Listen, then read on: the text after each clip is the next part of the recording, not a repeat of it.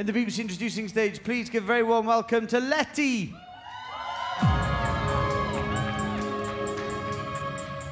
Your face reflects in my heart. I caught you crossing.